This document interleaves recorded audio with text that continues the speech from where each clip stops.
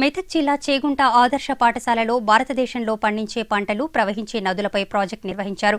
విద్యార్థులను రెండు విభాగాలుగా విభజించి ఉపాధ్యాయులు అవగాహన కల్పించారు. ఈ ప్రాజెక్టు ద్వారా విద్యార్థులకు అవగాహన కల్పిస్తున్నట్లు సోషల్ టీచర్ రమాదేవి అన్నారు. ఈ ప్రాజెక్టు వల్ల రాబోయే పరీక్షల్లో మంచి ఫలితాలు వచ్చే అవకాశం ఉందన్నారు. Of India and vegetation in India ఈ ఫీచర్స్ అంటే డిఫరెంట్ ల్యాండ్ ఇన్ ఇండియా ఎన్ని విధాలుగా డివైడ్ అవుతుంది? మన ఇండియా అనేది కంప్లీట్గా ఒక లైవ్ ప్రాజెక్ట్ చేశారు. దీని మెటీరియల్స్ యూజ్ చేసింది కూడా ఇక్కడ చుట్టుపక్కల దొరికే గడ్డి క్లే అండ్ శాండ్ అన్నీ ఇక్కడ దొరికినవన్నీ యూజ్ చేసి చేశారు వీళ్ళంతా. అక్కడ వెజిటేషన్ ఇన్ ఇండియా అది డిఫరెంట్ క్రాప్స్. మన ట్వంటీ నైన్ స్టేట్స్లో ఏమేమి క్రాప్స్ ఎక్కువ ఫేమస్ ఆ క్రాప్స్ ఇక్కడ చూపించబడింది.